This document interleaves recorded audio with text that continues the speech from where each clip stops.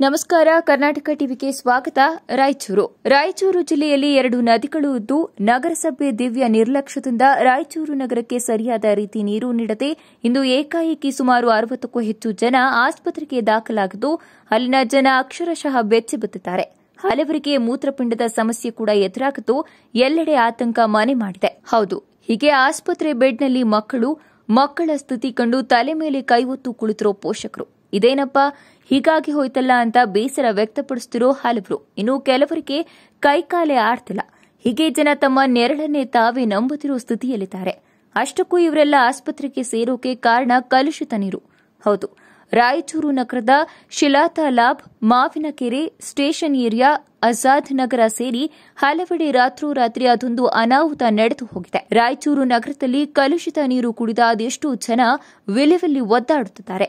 ಕಳೆದ ಒಂದು ವಾರದಿಂದ ಜನ ಕಲುಷಿತ ನೀರನ್ನ ಕುಡಿಯುತ್ತಿದ್ದಾರೆ. ರಾಯಚೂರು ನಗರಸಭೆ ಸರಬರಾಜು ಮಾಡೋ ನೀರಿನಿಂದಲೇ ಇಂತಹ ಅನಾಹುತ ಸಂಭವಿಸಿದೆ. ಕುಡಿಯೋ ನೀರು ಕಲುಷಿತಗೊಂಡಿದ್ದು ಅದೇ ನೀರನ್ನ ಕುಡಿದ ಜನ ಈಗ ಹಾಸಿಗೆ ಹಿಡಿಯುತ್ತಿದ್ದಾರೆ. ಇಂದಿರಾ ನಗರದ ಮಲ್ಲಮ್ಮ ಅನ್ನೋ ಮಹಿಳೆ ಇದೇ ಕಾರಣಕ್ಕೆ ಮೃತಪಟ್ಟದ್ದು ಅರವತ್ತಕ್ಕೂ ಹೆಚ್ಚು ಜನ ಅಸ್ವಸ್ಥಗೊಂಡಿದ್ದಾರೆ. ಕಲುಷಿತ ನೀರು ಕುಡಿದ ಪರಿಣಾಮ ವಾಂತಿ ಭೇದಿ ಶುರುವಾಗಿರುವುದರಿಂದ ಅಸ್ವಸ್ಥಗೊಂಡವರೆಲ್ಲ ರಾಯಚೂರು ನಗರದ ರಿಮ್ಸ್ ಆಸ್ಪತ್ರೆಯಲ್ಲಿ ಅಡ್ಮಿಟ್ ಆಗಿ ನರಳುತ್ತಿದ್ದಾರೆ.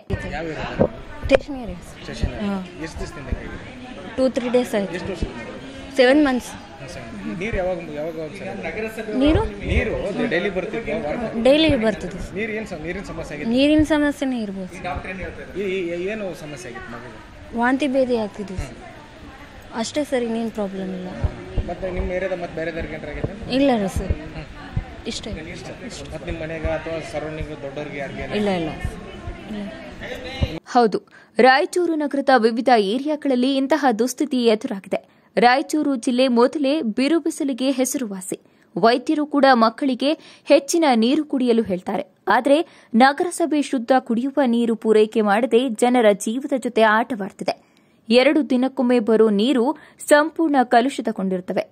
ಒಂದು ದಿನ ಈ ನೀರನ್ನ ಇಟ್ಟರೆ ಸಾಕು, ಆ ನೀರಿನಲ್ಲಿ ಮೂರನೇ ದಿನ ಹುಳು ಓಡಾಡುತ್ತವೆ. ಇಂತಹ ಕಲುಷಿತ ನೀರು ಕುಡಿದು ಒಟ್ಟು ಅರವತ್ಮೂರು ಜನ ಅಸ್ವಸ್ಥಗೊಂಡಿದ್ದಾರೆ. ಇದರಲ್ಲಿ ಇಪ್ಪತ್ಮೂರು ಮಕ್ಕಳು ಕೂಡ ಇದ್ದಾರೆ. ಇದೇ ಕಲುಷಿತ ನೀರಿನ ಪರಿಣಾಮದಿಂದ ಮೂರು ಜನರಿಗೆ ಮೂತ್ರಪಿಂಡದ ಸಮಸ್ಯೆ ಉಂಟಾಗಿದ್ದು ಬಿಪಿ ಲೆವೆಲ್ ಸ್ಟೇಬಲ್ ಆಗಿದ್ದರೂ ಕಿಡ್ನಿ ಸಮಸ್ಯೆ ಉಲ್ಪಡಿಸಿದೆ ಒಬ್ಬರಿಗೆ ಡಯಾಲಿಸಿಸ್ ಮಾಡಲಾಗಿದ್ದು, ಉಳಿದವರನ್ನ ಮಾನಿಟರ್ ಮಾಡಲಾಗುತ್ತಿದೆ ಮಕ್ಕಳಿಗೆ ಅಂತದ್ದೇನು ಸಮಸ್ಯೆ ಗಂಭೀರ ಸ್ವರೂಪದಾಗಿಲ್ಲ ಎಂದು ರಿಮ್ಸ್ ಆಸ್ಪತ್ರೆ ವೈದ್ಯರು ತಿಳಿಸಿದ್ದಾರೆ. ರಿಮ್ಸ್ ಬೋಧಕ ಆಸ್ಪತ್ರೆಯಲ್ಲಿ ಶನಿವಾರದಿಂದ ಸುಮಾರು ವೈದ್ಯಶಾಸ್ತ್ರ ವಿಭಾಗಕ್ಕೆ ಅರವತ್ತ್ಮೂರು ರೋಗಿಗಳು ದಾಖಲಾಗಿದ್ದು ಸುಮಾರು ಏಳರಿಂದ ಹತ್ತು ರೋಗಿಗಳು ಚಿಕಿತ್ಸೆಯನ್ನು ಪಡೆದು ಗುಣಮುಖರಾಗಿ ಬಿಡುಗಡೆ ಹೊಂದಿರುತ್ತಾರೆ. ಇಷ್ಟೆಲ್ಲ ರೋಗಿಗಳು ಗ್ಯಾಸ್ಟ್ರೋಎಂಟ್ರೈಟಿಸ್ ಜಿ ಅಥವಾ ಅತಿಸಾರ ಆ, ಹಿನ್ನೆಲೆಯಲ್ಲಿ ದಾಖಲಾಗಿರುತ್ತಾರೆ. ಇದಲ್ಲದೆ ಮಕ್ಕಳ ವಿಭಾಗದಲ್ಲಿ ಇಪ್ಪತ್ತ್ಮೂರು ಮಕ್ಕಳು ದಾಖಲಾಗಿದ್ದು ಚಿಕಿತ್ಸೆಯನ್ನು ಪಡೆಯುತ್ತಿದ್ದಾರೆ.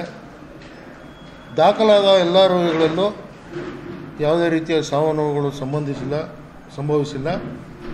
ಅಲ್ಲದೆ ನಮ್ಮ ಆಡಳಿತ ವಿಭಾಗದಿಂದ ಬೇಕಾಗ್ತಕ್ಕಂಥ ಐ ವಿ ಫ್ಲೂಯಿಡ್ಸು ಹಾಗೂ ಆ್ಯಂಟಿಬಯೋಟಿಕ್ಸ್ ಝೋನ್ ಆಗಲಿ ಮೆಟ್ರೋಜಿಲ್ ಆಗಲಿ ಡಾಕ್ಸಿಸೈಕ್ಲಿನ್ ಆಗಲಿ ಐ ವಿ ಫ್ಲೂಯಿಡ್ಸ್ ಆಗಲಿ ಸಾಕಷ್ಟು ಸಂಗ್ರಹ ಮಾಡಿದ್ದೇವೆ ಸನ್ನದ್ಧರಾಗಿದ್ದೇವೆ ಅದರಲ್ಲಿ ಎರಡು ನೆಫ್ರಾಲಜಿ ಒಪಿನಿಯನನ್ನು ನಾವು ಕಾದಿರಿಸಿದ್ದೇವೆ.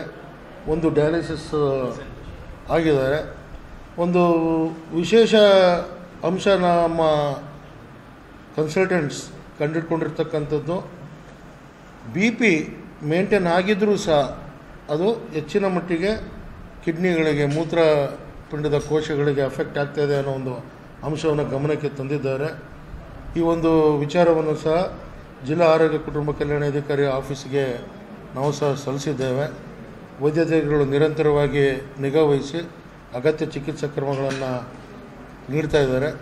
ನಾವು ಸಹ ದಿನದ ಇಪ್ಪತ್ನಾಲ್ಕು ತಾಸು ಇದರ ಮೇಲೆ ಕಣ್ಗಾವಲಿಟ್ಟು ಸಂಪೂರ್ಣ ಸಹಕಾರ ಮತ್ತು ನಿಗಾವನ್ನು ವಹಿಸ್ತಾ ಇದ್ದೀವಿ. ಸಾಮಾನ್ಯವಾಗಿ ವಾಂತಿ ಮತ್ತು ಬೇದಿಯ ಹಿನ್ನೆಲೆಯಲ್ಲೇ ಬರ್ತಾ ಇದ್ದಾರೆ. ಬಂದಿರತಕ್ಕಂಥ ಸಂದರ್ಭದಲ್ಲಿ ಅವರು ಅತಿಯಾದ ಅತಿಸಾರದ ಒಂದು ಅಂಶಗಳಿಂದನೇ ದಾಖಲಾಗ್ತಾ ಇದ್ದಾರೆ. ಬಂದ ತಕ್ಷಣವೇ ಅವರಿಗೆ ಐ ಫ್ಲೂಯಿಡ್ಸು ಮತ್ತು ಇನ್ನಿತರ ಉಪಚಾರಗಳನ್ನು ಮಾಡಿ ಆ್ಯಂಟಿಬಯೋಟಿಕ್ಸ್ನ ಮಾಡ್ತಾ ಇದ್ದೀವಿ. ಫಿಸಿಷಿಯನ್ಸ್ ಹೇಳಿರೋ ಪ್ರಕಾರ ಅವರು ಅಷ್ಟು ಬಿ ಪಿನ ಸಡನ್ನಾಗಿ ಡ್ರಾಪ್ ಆಗ್ತಿಲ್ಲ. ಬಿ ಪಿ ಮೇಂಟೈನ್ ಆಗ್ತಾ ಇದ್ರು ಸಹ ಕಿಡ್ನಿಗೆ ಹಾಕ್ತಕ್ಕಂಥ ತೊಂದರೆಯ ಲಕ್ಷಣಗಳು ಎದ್ದು ಕಾಣ್ತಾ ಇದ್ದಾವೆ. ಈಗ ಎರಡು ಪ್ಲಸ್ ಒಂದು ಮೂರು ಇಷ್ಟು ಅರವತ್ತ್ಮೂರು ರೋಗಿಗಳಲ್ಲಿ ಮೂರು ರೋಗಿಗಳು ಮೂತ್ರಪಿಂಡದ ವಿಶೇಷ ನಿಗಾ ವಹಿಸಲಿಕ್ಕಾಗಿದೆ ಅಂತಂದರೆ ಇದು ಒಂದು ನಾವು ಎಚ್ಚರಿಕೆಯ ಒಂದು ಸಂದೇಶ ಇದೆ. ಮಕ್ಕಳ ವಿಭಾಗದಲ್ಲಿ ಆ ಥರದ ಯಾವುದೇ ಒಂದು ಬೆಳವಣಿಗೆಗಳು ಕಂಡು ಬರ್ತಿಲ್ಲ ಅವರು ಚಿಕಿತ್ಸೆಗೆ ಸ್ಪಂದಿಸ್ತಾ ಇದ್ದಾರೆ. ಇಷ್ಟೆಲ್ಲ ಅನಾಹುತವಾಗಿದ್ರೂ ಕೂಡ ರಾಯಚೂರು ನಗರಸಭೆ ಕಮಿಷನರ್ ಆಗಲಿ ಅಥವಾ ಅಧ್ಯಕ್ಷರಾಗಲಿ ಯಾರೂ ಈ ಬಗ್ಗೆ ತಲೆ ಕೆಡಿಸಿಕೊಂಡಿಲ್ಲ. ಬಡವರು ಕುಡಿಯೋದೇ ಇಂತಹ ಕಲುಷಿತ ನೀರು. ಅದಕ್ಕೆ ನಾವೇನ್ ಮಾಡೋಕ್ಕಾಗುತ್ತೆ ಅನ್ನೋ ದುರಹಂಕಾರದಲ್ಲಿ ಸಂಬಂಧಪಟ್ಟ ಅಧಿಕಾರಿಗಳು ವರ್ತಿಸುತ್ತಿದ್ದಾರೆ. ಸೌಜನ್ಯಕ್ಕಾದರೂ ಜನಪ್ರತಿನಿಧಿಗಳು ಅಸ್ವಸ್ಥಗೊಂಡವರನ್ನಾಗಲಿ ಇಲ್ಲ ಮೃತಳ ಕುಟುಂಬಸ್ಥರನ್ನ ಸಂಪರ್ಕಿಸಲ್ಲ. ಇದಕ್ಕಿಂತ ದುರಹಂಕಾರದ ಪರಮಾವಧಿ ಮತ್ತೊಂದಿಲ್ಲ ಅಂತ ಜನ ಹಿಡಿ ಶಾಪವನ್ನ ಹಾಕುತ್ತಿದ್ದಾರೆ. ಅನಿಲ್ ಕುಮಾರ್ ಕರ್ನಾಟಕ ಟಿವಿ, ರಾಯಚೂರು.